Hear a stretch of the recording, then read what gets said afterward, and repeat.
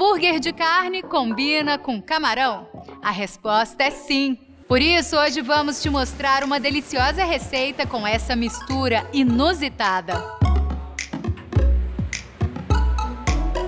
A gente tentou trazer um conceito que se chama surf and truff. Ele consiste em misturar frutos do mar com steak.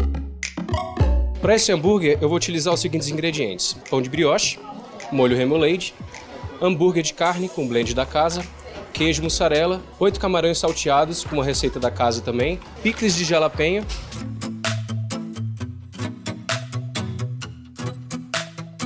Esse molho remoulade surgiu uh, em Louisiana, ele é da meca da comida de rua americana.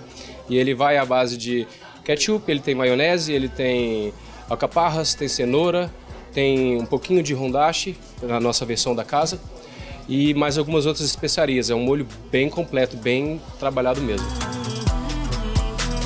Primeiro a gente vai saltear os camarões, vamos grelhar o hambúrguer no charbroiler, que vai dar um sabor de defumado na carne. Depois a gente coloca o queijo na chapa, montamos o sanduíche e é isso. O camarão tem um sabor mais acentuado do que o da carne, então a carne vai servir como base do sabor e o camarão vai dar o retrogosto.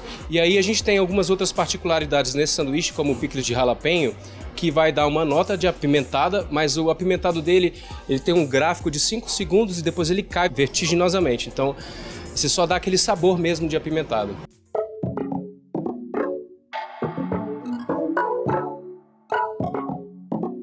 Esse sanduíche, para mim, é um dos melhores sanduíches que eu já comi. Ele, além de ter o sabor tradicional que a gente está acostumado no primeiro sabor de carne, ele tem um retrogosto que é inigualável.